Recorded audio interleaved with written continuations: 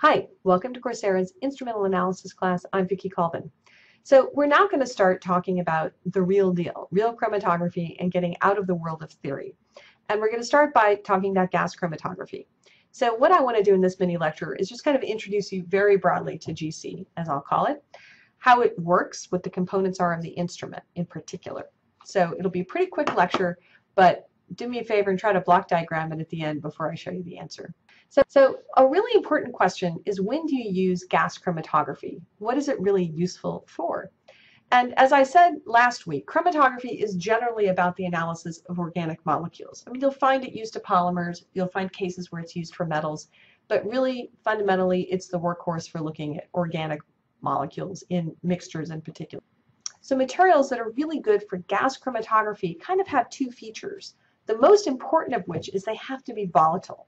And what the term volatile basically means is they have appreciable vapor pressures at room temperature, such that when you heat the system up, they can be completely volatilized. So because gas chromatography works with a mobile phase that's a gas, you have to be able to get your analytes into the gas phase in their whole entity. They can't thermally decompose. And generally speaking, volatility scales with molecular weight, so really big things like polymers or peptides just don't have any don't have any appreciable vapor pressure, and so they're really, really hard to do gas chromatography on. The other thing you're going to find is that GC is going to work better with systems that are more nonpolar. That's a little bit less of a, of a hard and fast rule, but generally speaking, if you have things that are like alkanes, a little factoid for you to know, of all the chromatography done right now, roughly 25% of it is GC. If you can make it GC, you do, because in general it's thought to be an easier technique, and certainly historically was more broadly applied before liquid chromatography. So what's the magic box of gas chromatography look like? Well, you are going to in fact inject a sample, but this time you're not going to be getting the concentration of metal out, you're going to be actually measuring a chromatogram. And from the times that are present in the chromatogram, you're going to know what you have, and if you integrate the peak, you may know how much is there. And if you have a mass spectrometer as a detection system, you're going to really be able to ID your peaks directly. Well, a typical gas chromatograph is a fairly large tabletop system, uh, pretty big. Um, it's not a, it's not like a little shoebox. It's going to take up a good size, good fraction of a desk. The one shown here has the all-important auto sampler. Uh, it's pretty standard. A lot of the space is taken up with the oven and the column, as you'll see in a second. And over on the left, you can see a guy actually injecting a sample in. So it's kind of funny when you use a GC, since it's kind of a big instrument, and you end up injecting like 10 microliters of material into it. Um, but in any case, it's a, it's a workhorse. You'll find them in a lot of labs. So what does that system have to do? What are the different components of a GC? Well, the first thing that the instrument has to provide is a means for getting the sample introduced into the mobile phase. GCs usually work by continually flowing a mobile phase through the column.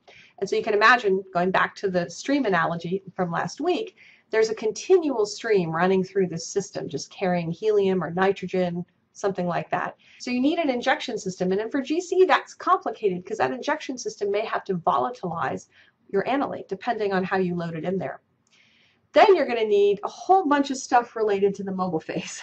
You have to have pretty ultra pure, ultra pure gas cylinders sitting there. You're going to have flow regulators and flow meters. You're going to have a bunch of tubing and piping. It's a lot of plumbing that allows those gases to flow through the system continually. So there's a whole bunch of infrastructure associated with gas handling in a, in a gas chromatograph. The sort of guts of the instrument are the column, which sits in an oven because you're doing gas chromatography your um, mobile phase and your analyte and your stationary phase are almost always heated because you want everything to be volatile. And how high you heat it really depends a lot on what you think your mixture is. And then finally, down at the very end, you have to have a detector. You have to know when does your analyte come out. Has to be a detector that can discriminate your analyte against the much, much higher concentration of background gases like helium, nitrogen, and hydrogen, which are the three most common. And it needs to be pretty sensitive, right? Because you have very dilute samples, just a little tiny bit of analyte that went into that gas phase.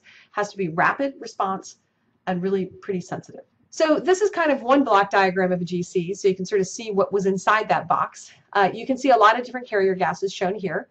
Um, there's a sample injection port. Here is a picture of the oven, and so this big coil here is actually the column itself. GC columns can be as long as 30 meters. Then you can, of course, see that this would be the detector system, depending on what you have. And then, of course, you can get your, get your signal that way. So a couple of things just remember about GC. Uh, it's really gas liquid chromatography because the support that you have in the column is usually liquid. You may have a solid material to kind of hold it there, but it's like a frosting on top of that. And it may be more of a gel, but it's still considered to be a liquid stationary phase. And also, the mobile phase is inert. It's not supposed to interact with anything. It's just there to push everything through the system. So it's a really important thing in gas chromatography, and it limits the choice of gases as mobile phases because you're often operating at temperature, maybe 250 C in some cases, maybe even 300. And so your mobile phase needs to be very inert and simply push your stuff through the column. It also, by the way, has to be ultra pure, which is one of the big costs associated with operating GCs, is you need really high purity gases that you really flow, you use a lot of gas in one day with a GC. One of the things to keep one of the things to keep in mind then is that we're going to see something very di different in liquid chromatography, where by altering the mobile phase, we can really change a lot about the separation.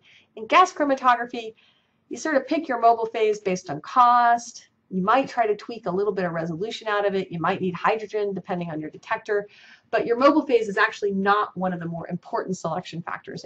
So I want you to try to block diagram a gas chromatography system just based on what we were thinking. Just sketch it out somewhere. Don't go back, just think about it.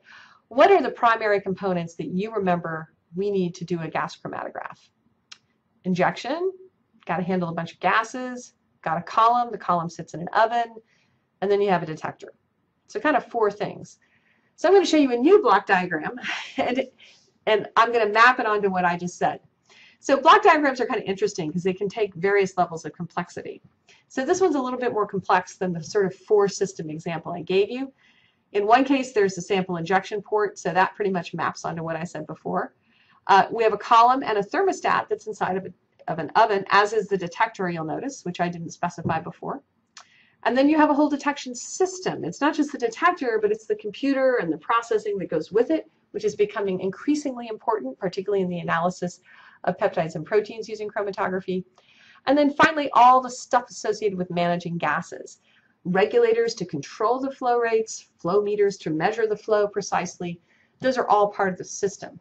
So as you do block diagrams, you should really think about all the different components. And as I go through them one by one in the remaining mini lectures, one of the things I'm looking for is do you have quantitative information? Okay, fine, you know the column sits in an oven. How long is the column typically? How, what's its diameter? What are typical temperatures you operate at? Having those quantitative details overlaying your block diagram mean that you have a pretty good sort of mental picture of what the instrument's all about. Thanks so much. See you next time.